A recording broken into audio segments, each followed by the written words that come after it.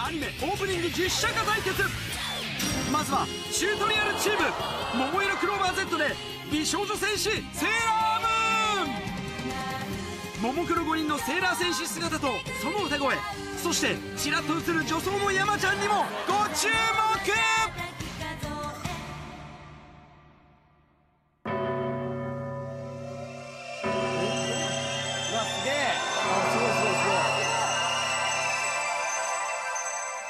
ようできてんな。あすごいすごいすごい。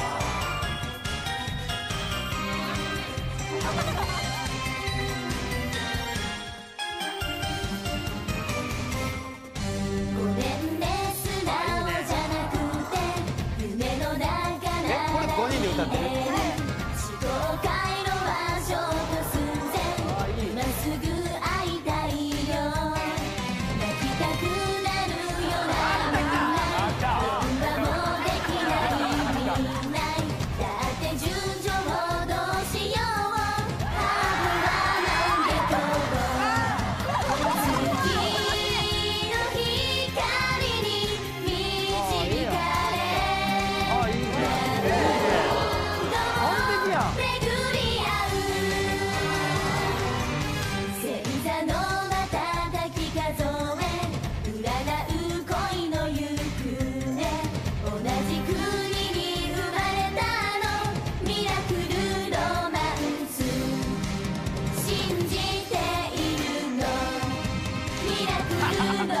た来た来たいやよ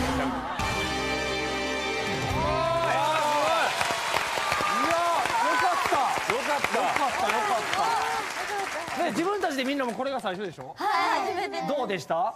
山山ちゃんのキャスティングミスだったからね。